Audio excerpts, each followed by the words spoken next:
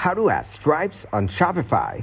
In this tutorial, I'm going to show you how you can add a seamless and user-friendly payment processing method on Shopify. So to get started, you need to open the web browser. Now search here Shopify. Here click on Shopify official website. Then click on Login.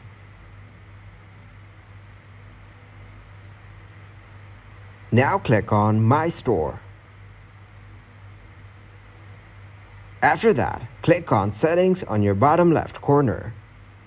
Now click on Payments. Click on Choose a provider from the Payment Providers section. Now scroll down and select Stripe from here.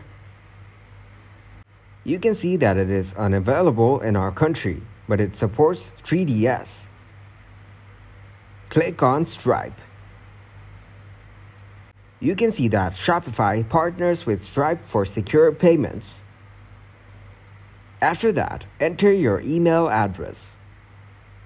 Then click on Continue. If you have a Stripe account, you can use the same email.